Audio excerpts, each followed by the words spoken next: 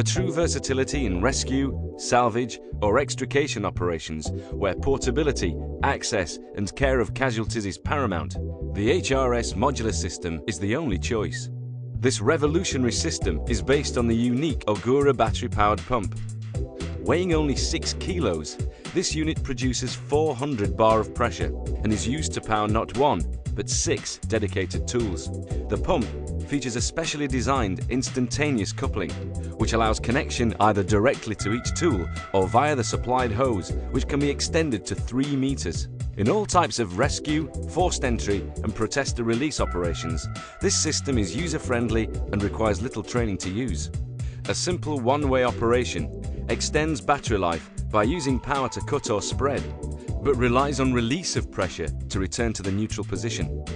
The HRS modular system will help you and your team like no other option available today. The HRS 922 mini cutter is ideal for cutting angle iron, tubes, and due to its small size, can be used to cut in very tight areas. Airport fire brigades have recognised the benefits of the 922 as the tool is ideal for extrication work inside the fuselage of aircraft. With its larger jaw opening and more powerful 10-ton cutting pressure, the HRS 932 is great for cutting tube and is also quite capable of cutting car roof pillars. This tool has proved itself a very versatile addition to the HRS range. Seen here cutting concrete reinforcement bar in a collapsed building exercise, the 932S has also proven itself in protester release scenarios. This stubby cutter will bust bike locks, chains and security grills. This unit can cut up to 16mm bar and is supplied fitted with a flexible 1 meter hose.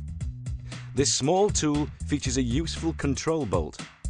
Penetration injuries can be managed by tightening the adjustment bolt to the material, thus preventing potentially dangerous or painful movement.